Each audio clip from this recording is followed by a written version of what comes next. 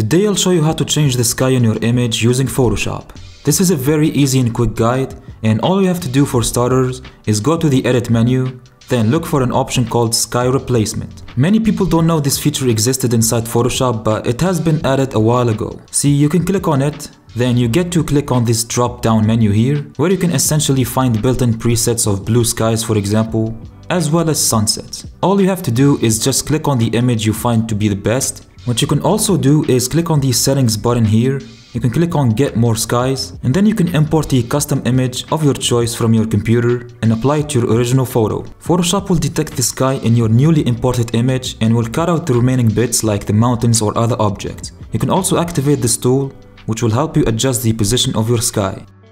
You can also play with these settings and values too, for example the fade edge between both images, and you can adjust how warm or cold your image should look, and adjust the scale etc. And once you're happy, click OK. If you found this video helpful, please like and subscribe. Also, feel free to watch this next tutorial.